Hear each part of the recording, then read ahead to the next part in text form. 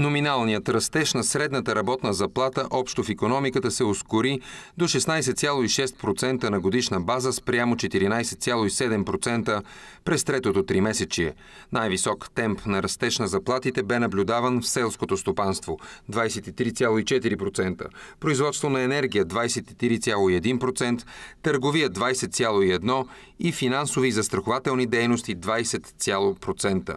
Цените на енергийните стоки и храните се повишиха съответно с 2,6% и 1,5% и допринесоха най-много за повишението на общия индекс спрямо преходния месец, сочат данните на Министерство на финансите.